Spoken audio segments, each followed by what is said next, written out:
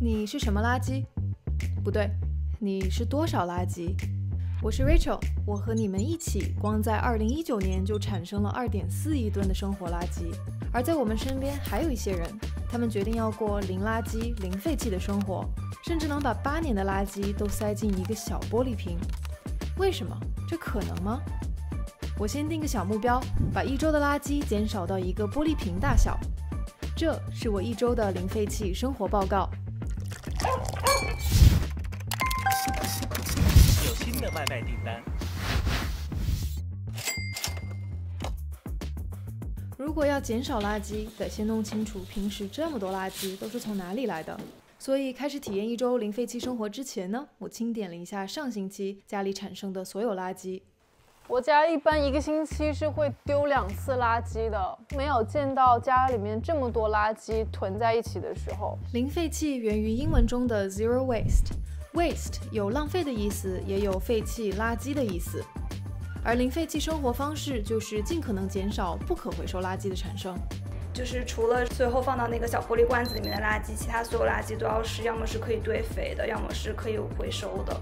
袋子实践零废弃有四年时间了。最近才开始在网上分享他的环保日常，很快就建立了一个不小的社群。我现在的话是已经完全戒纸了，不会去买任何的本子啊、厕纸啊、包括卫生纸啊、卫生巾啊这些产品。垃圾减量啊，借到一些东西会让我有那种很爽的感觉，会让我有一种幸福感，所以我做这些事情。清点完上周垃圾，我发现大部分的不可回收垃圾是食品包装，所以这周我打算先从吃这件事下手。我现在在去菜市场的路上。其实到菜市场买菜，既可以省钱，又可以减少垃圾。唯一的缺点就是它比直接点外卖生鲜要花时间一些。所以，我基本上就是有特别有时间、特别有闲情雅致的时候，才会到菜市场买菜。好啦，我以往每周都会点一到两次生鲜配送，产生不少食品包装垃圾。如果到菜市场买菜，就可以一点垃圾都不产生。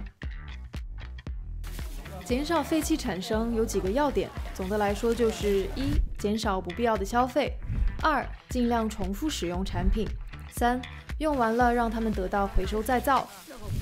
他们被简称为“三二原则”。首先，我们要做到的是先减少，或者是说是拒绝。如果我们说还是想享受现在的这种一次性的消费文化，其实是没有办法做到真正意义上的环保的。什么东西你都用一次性的话，它肯定是要制造很多的新的产品，然后浪费很多的新的资源。今天晚上我们要做一个奶油酱的培根意大利面，然后这个塑料包装是我在体验零废弃这周之前就买的。如果不用完的话也很浪费，所以不要把它丢进垃圾桶哦，它会进我的罐子里的。身为近视眼，有一种塑料是我没有办法避免的，就是隐形眼镜。我还挺好奇那些进行零废弃的人是怎么解决这个问题的。我现在还会使用月抛的隐形眼镜，因为我也不太想说为了环保去牺牲一些让我感到自信、让我很开心的一些生活习惯吧。你自己不开心的话，是很难去把它坚持下去的。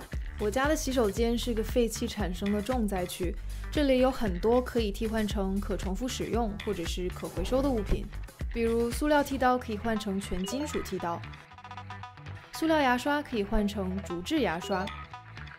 那厕纸，这个是我用来借马桶纸的一个神器。这个要介绍一下怎么用吗？有点奇怪。我觉得不用了，大家可以意会。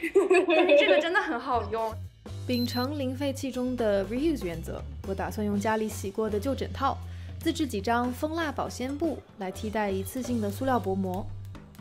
制作过程非常简单，只需要让蜂蜡、松香、植物油融化混合之后，将少量倒在布料上，放到烤箱加热两分钟，把布料均匀的浸湿晾干就好了。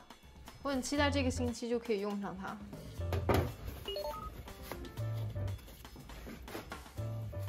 头三天体验下来，我发现了一些生活中从来没有留意过的垃圾，比如说饮水桶上的这一层塑料包装。又比如猫奴必备的滚轮胶纸，还有根本就不是因为自己而产生的垃圾。今天早上有一个拍摄，我没出门前就让直六帮我买了一个早餐，然后这张纸，它虽然是一张纸呢，但是它这个纸里面有一个镀层，应该是塑料做的，所以。什么样的纸不能回收，什么样的塑料反而是可回收的？这周我查了很多次垃圾分类指南，比如很多食品包装纸因为要做到防潮，就加了一层塑料涂层，变成了不可回收物。又比如我才发现洗发水的塑料瓶洗干净了是可回收的，这个酸奶塑料包装也是。很多人会觉得说塑料盒子是一个可以回收的东西，我扔到了回收箱子里面，所以就没有任何的污染环境啊之类的。其实这就是不正确的。塑料产品的成分复杂，政府只能按照大致的种类将它们回收混合。再生塑料的性能大不如前，逃不过最后被填埋或者焚烧。未来的话，品牌他们自己对自己产出的这些包装啊，还有这些废弃物进行一个负责，进行一个回收是一个趋势。因为这样子做的话，是可以最大限度的重复利用这些材料的。就比如说耐克的话，它会回收自己旧的破的运动鞋嘛，我就一直把我的破的运动鞋一直留到了现在。鞋类产品的用料复杂，每年因为造鞋而产生的碳排放量已经占到了全球的百分之一点四，这是一个急需践行零废弃的产业。然而，在去年发布的所有球鞋里面，还只有不到百分之三是用可降解或者是可循环材料制作的。我希望企业可以做到的就是，比如说去找一些材料上的替代品啊，在设计的时候去考虑一下这些东西做完了之后，我们要怎么样给它进行一个拆解。体验的第六天，我去探访了耐克的一家零废弃回收工厂。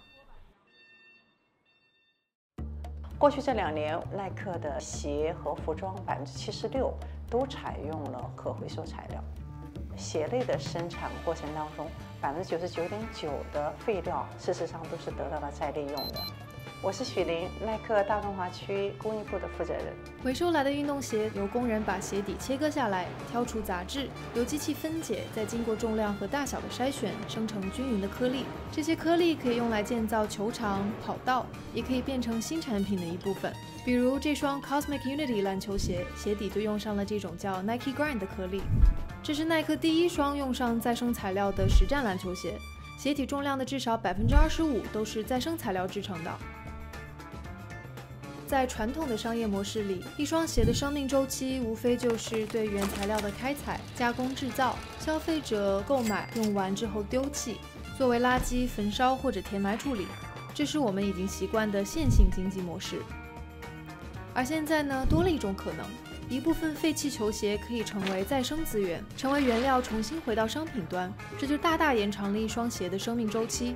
这也是由经济学家肯尼斯·博尔丁在一九六六年提出的循环经济思路。不管是像袋子这样的个人，还是耐克这样的企业，他们的零废弃实践都是一种从线性经济到循环经济的转变。我们是二零一九年提出 Move to Zero 这一计划的，从产品的设计、制造到物流运输、销售，到二零三零年的时候，我们要降低百分之三十的碳排量。其实我们买东西就是在像投票一样。如果是说你去支持一些快时尚品牌啊、不太环保的企业的话，其实你就是在发出这个信息，就是我支持你这个企业，我想让这个企业继续在做你们现在所做的这些事情。帮我们去支持一些可持续的品牌啊，就会有更多的品牌去考虑往这个方向转型。今天是我体验零废弃生活的最后一天，我这周产生所有的不可回收垃圾有这么多。